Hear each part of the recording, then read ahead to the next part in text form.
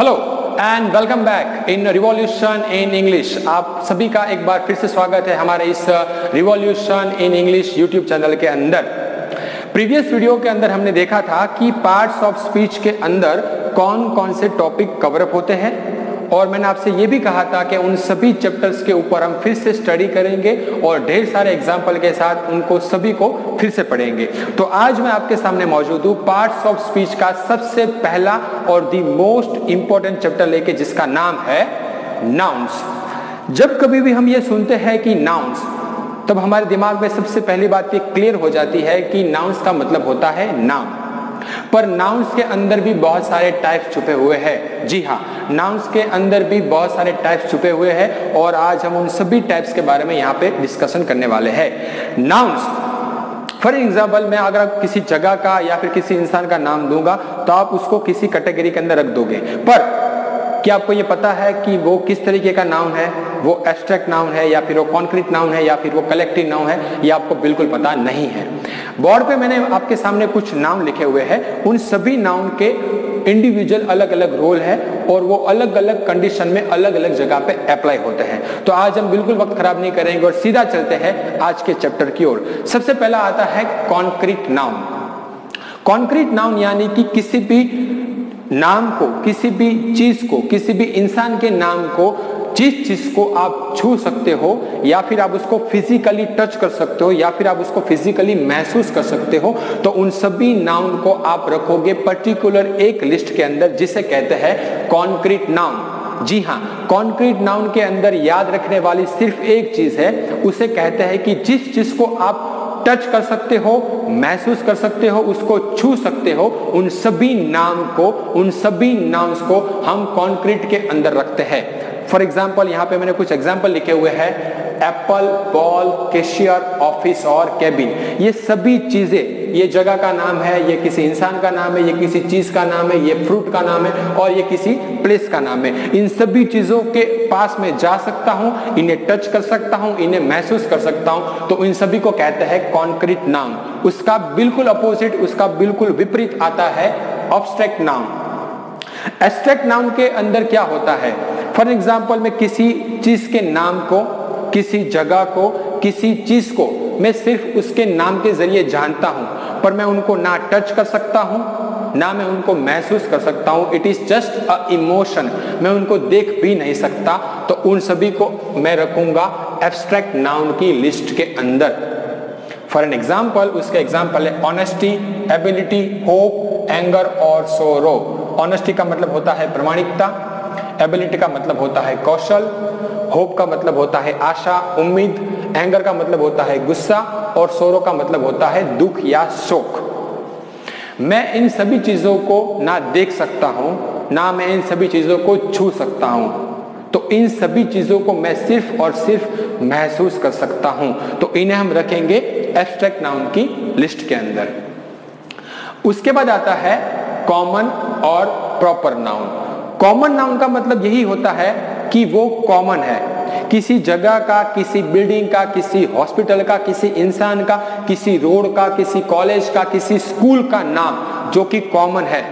पर अगर मैं उस चीज़ का प्रॉपर नाम लेकर बात करूँगा, तभी जाकर मैं उनको प्रॉपर नाउन की लिस्ट के अंदर रख सकता हूँ। फॉर एन एग्ज़ाम्पल मैं अगर इंसानों के बारे में बात करूँ, मैं किसी जानवर के बारे में बात करूँ तो इंसानों के अंदर भी अलग अलग एज ग्रुप के बहुत से इंसान होते हैं। उसी तरह एनिमल्स के अंदर भी अलग अलग पानी में रहने वाले, ज़मीन पर चलने वाले और आसमान में उड़ने वाले पंछी भी उसके अंदर आते हैं। पर अगर मैं आसमान में उड़ने वाले पंछियों के बारे में बात करूँगा तो मैं उनको प्रॉपर नाउन के अंदर लिखूँगा।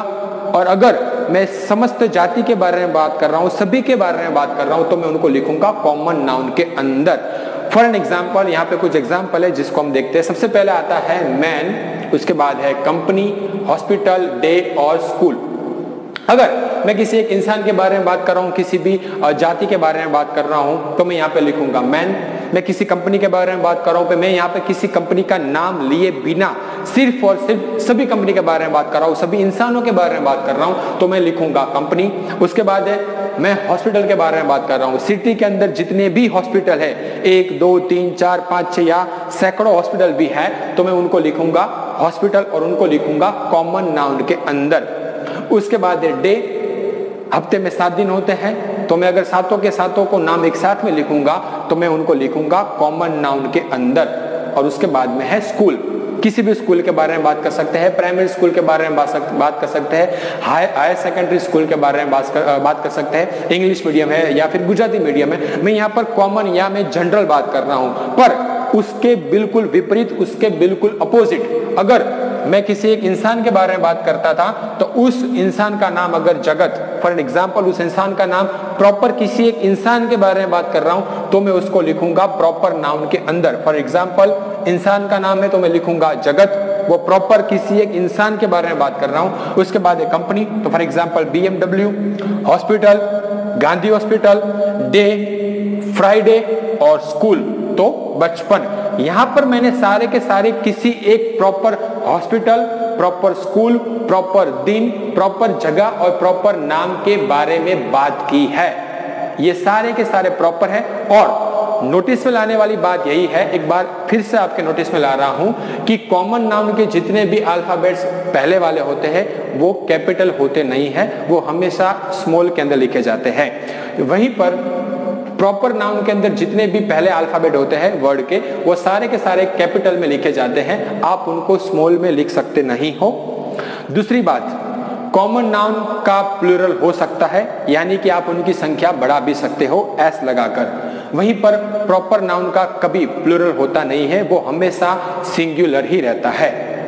उसके बाद आता है काउंटेबल नाउन काउंटेबल और अनकाउंटेबल ये नाम सुनते ही आपके दिमाग में ये चीज़ क्लियर हो गई कि काउंटेबल क्या होता है और अनकाउंटेबल क्या होता है। फिर भी मैं आपको बताता हूँ काउंटेबल वो चीज़ें होती है जिनको आप गिन सकते हो और अनकाउंटेबल वो चीज़ें होती हैं, वो नाम होते हैं जिनको आप कभी गिन नहीं सकते। जिन चीज़ों को आप गिन सकते हो, एक, दो, दस, बारह हज़ार, उनको रखोगे काउंटेबल लिस्ट के अंदर और जिन चीज़ों को आप नहीं गिन सकते, उनको आप रखोगे अनकाउंटेबल लिस्ट के अंदर। एग्ज़ाम्पल के ज़रिए समझने की कोशिश करते हैं बुक पेन टेबल टाइगर और स्टूडेंट इन सभी चीज़ों को मैं गिन सकता हूँ। पर उसी के बिल्कुल विपरीत अगर मैं अनकाउंटेबल के बारे में बात करूँगा तो वाटर सोल्ट लव एयर और एडवाइस इन सभी चीज़ों को मैं एक, दो, चार, पाँच, छह गिन नहीं सकता। तो फॉर एग्ज़ाम्पल मैंने आपको जैसे कहा कि काउंटेबल के अंदर वही चीज़ें आएँगी जिनको हम काउंट कर सकते हैं, और अनकाउंटेबल के अंदर वही चीज़ें आएँगी जिसको हम काउंट नहीं कर सकते हैं। आखिर में दो है कलेक्टिव नाउन और है ग्रुप ऑफ़ नाउन जी हाँ कलेक्टिव और ग्रुप अगर मैं आपसे ये कहूँ कि मैंने किसी पाँच या दस लोगों को देखा, चाहे वो टीचर्स थे, वो इंजीनियर्स थे, वो सोल्जर्स थे, वो स्टूडेंट थे, अगर मैं उनके प्रॉपर नाम नाम के बारे में नहीं जानता हूँ तो मैं इन शॉर्ट यही कहूँगा कि कोई ग्रुप था पाँच या दस लोग खड़े थे, पर मुझे उनका प्रॉपर नाम क्या था एग्जैक्ट नाम क्या था, ये मुझे बिल्कुल पता नहीं था। तो ऐसे हालात में क्या होगा, मैं उनको लिखूँगा ग्रुप ऑफ़ ग्रुप यानी एक से लगाकर दस, पंद्रह, कितने भी लोग आप लिख सकते हो। तो ग्रुप को ग्रुप ऑफ़ के अंदर मैं उन सभी के नाम लिख सकता हूँ। फॉर एग्ज़ाम्पल मैंने यहाँ पे लिखा है टीचर्स सोल्जर कीज क्रिमिनल और प्लेयर्स अगर मैं चार पाँच लोग टीचर्स है जो स्कूल में पढ़ाते हैं। अगर मैं उन सब के बारे में बात करूँगा तो मैं उनको लिखूँगा टीचर्स एस करके मैं उनको प्लूरल कर सकता हूँ। फिर उसके बाद आता है सोल्जर यानी कि सेनानी। अगर मैं उनको भी अगर दिखाना चाहूँ तो मैं उनको एक ग्रुप था सोल्जर का। जो मैंने बाज़ार में देखा तो उनको भी मैं रखूँगा ग्रुप के लिस्ट के अंदर। फिर उसके बाद में आता है किस यानी कि एक से ज़्यादा चाबियाँ। तो मैं उसको एस लगाकर मैं उनको भी प्लूरल कर सकता हूँ। क्योंकि मुझे पता नहीं है कि एक से ज़्यादा चाबियाँ होगी तो उसे क्या कहते हैं। एक से ज़्यादा सोल्जर होंगे तो क्या कहेंगे। एक से ज़्यादा टीचर होंगे तो उसे क्या कहेंगे। उसी तरह आता है क्रिमिनल्स और उसी तरीके से आता है प्लेयर्स तो प्लेयर्स अगर एक से ज़्यादा दो, चार, पाँच प्लेयर्स हैं। अगर मुझे उनके बारे में नहीं पता है कि उनको एक से ज़्यादा कितना कहा जाता है तो उसे कहेंगे प्लेयर्स या कहेंगे क्रिमिनल्स पर अगर मैं उन सभी चीज़ों को बिल्कुल अपोजिट अगर मैं इंडिविजुअल लिखना चाहूँगा तो टीचर्स को हम कहेंगे स्टाफ एक से ज़्यादा चार, पाँच या दस टीचर्स है तो वो बन जाता है स्टाफ उसी तरह सोल्जर यानी कि सेनानियों का ग्रुप बन के हो जाएगा आर्मी उसी तरीके से एक से ज़्यादा चाबियाँ होंगी तो उन चाबियों को हम इंग्लिश में कहेंगे बंच। और क्रिमिनल्स और एक से ज़्यादा है, वो रॉबरी कर रहे हैं या फिर वो कोई मर्डर प्लान कर रहे हैं तो उसे हम कहेंगे गैंग और उसी तरीके से लास्ट में है प्लेयर्स तो प्लेयर्स को हम कहेंगे टीम अगर एक से ज़्यादा पाँच, छह या दस प्लेयर है तो प्लेयर्स को प्लूरल प्लेयर्स कर सकते हैं, पर उसका प्रॉपर वर्ड होता है एक टीम तो आज के इस वीडियो में हमने देखा कि नाउन्स के कुछ टाइप्स और नाम्स के हमने कुछ प्रकारों के बारे में जानने की कोशिश की।